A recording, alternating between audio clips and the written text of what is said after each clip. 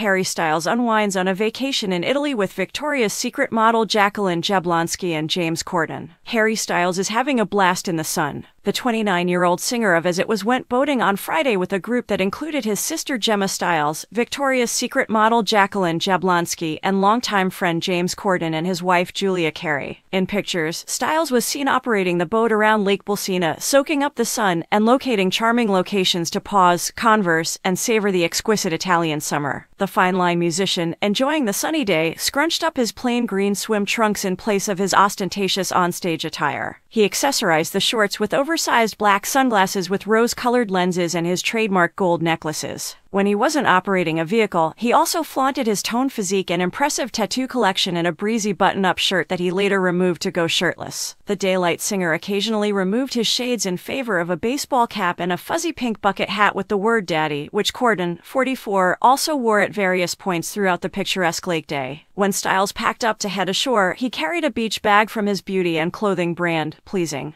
The Friday performance was a week after the ex member of One Direction, who spent almost two years and over 160 shows on Love on Tour, came to an end in Reggio Emilia, Italy, which is roughly three hours' drive from Lake Bolsena. A tour of love, he wrote. It's been the greatest experience of my life, next to a picture of himself making a bow on stage. I want to thank my band and the entire crew for making the past few years so memorable. It has been a complete joy. Thank you to everyone who came out to see us play, he continued. I am so grateful to you for making me feel so content and joyful. More than I could have ever imagined, you have provided me with memories that will last a lifetime.